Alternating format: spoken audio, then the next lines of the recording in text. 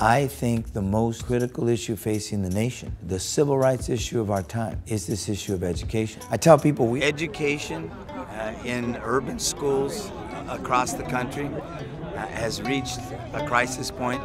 Uh, it's the new civil rights issue of our time. Uh, what I've said is we don't have uh, the National Guard uh, or the U.S. Army blocking the schoolhouse door, but the lack of success uh, in those schools is as insidious uh, as it was during Jim Crow. There's only a finite amount of money that I'm going to get. Seven billion, that's it. 5.9 comes from the state, another 1.1 comes out of the federal government. The title money goes directly into those schools. It is not shared across the system.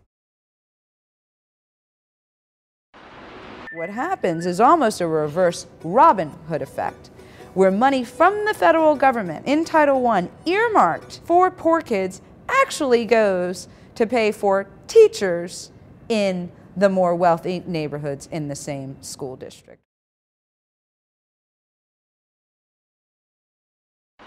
School finance has been focused on issues of inequities for over a century. If we have enough money so that whatever John or Jane needs, we have the resources for them to get the education they need and meet the standards themselves, then we've really solved virtually all the equity problems. That's easier said than done because it's not always clear how much that should be. And if we even knew that, it's not always clear whether we have the will to raise that or to distribute it in ways that would go to those places.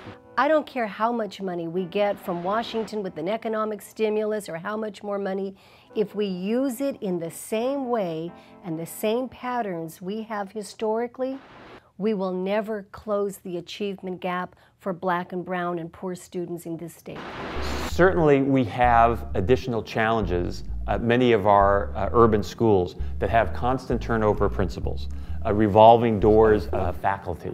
Uh, we don't have that stability in those communities. I visited an urban school in Southern California where they had four classes watching a film. And I said, what class is this? History? In fact, the film was on the Louisiana Purchase.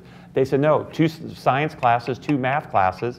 We didn't have teachers for the classes. So, and this was, you know, the school year had already begun. Do I believe that institutional racism exists through funding inequities, even facilities inequities, through academic inequities? Absolutely. If you have a youngster who's three years behind and he makes a grade growth, that's great, but he's still two years behind and they moved up another grade, he's now three years again. So you see, we need additional funds, additional training for those teachers because the research I've read, even the best teacher, if you've got 25 or 30 in your classroom and you've got 10 kids that are a year behind, probably the most you're going to get is four to five of them to make up a full year. The prime time for gang joining is really between the ages of 10 and 15. The challenge is that it's actually expanding downward. So you have at least anecdotal evidence that kids are being recruited sometimes as young as eight and nine years old into gangs. So really that 10 to 15 year old age, you know, fifth, sixth, seventh, and eighth grade is really the prime time. And the research suggests that if we can actually prevent kids from joining gangs, or if they join a gang, get them out of a gang before they reach about the age of 15, the likelihood of them being in, in a gang or joining a gang after that diminishes dramatically. The problem is if they're in a street gang after about 16 years old, the likelihood of them becoming a permanent fixture in our criminal justice system, it just skyrockets. Prosecutors, they get to see this longitudinal study